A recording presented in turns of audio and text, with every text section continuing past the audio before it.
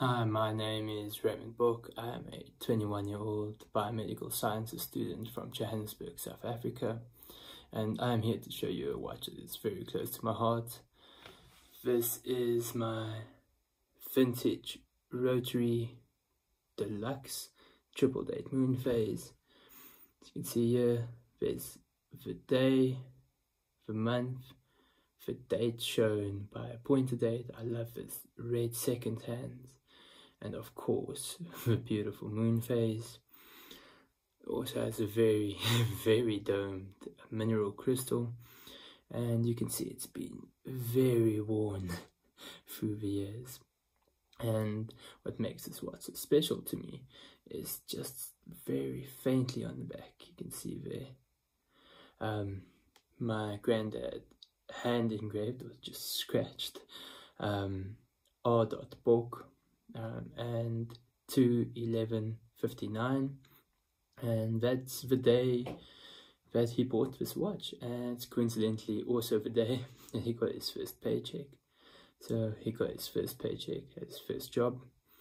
And he went straight to a jewelry store to buy this beautiful watch.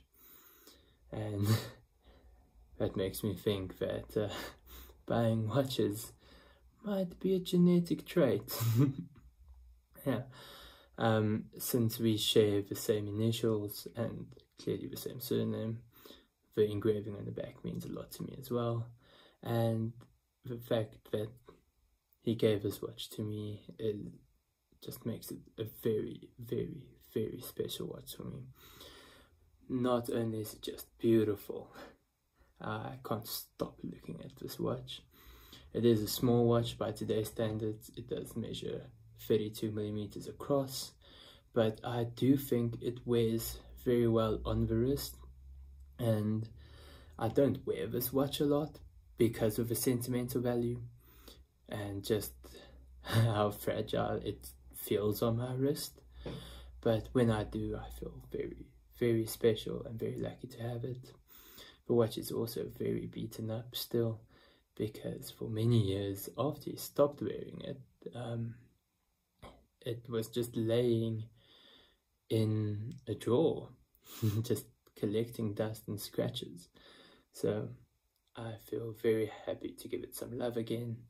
I put it on this very nice suede strap, which I think works very well with the overall style of the watch. And yeah, this is my very, very special Rotary Deluxe.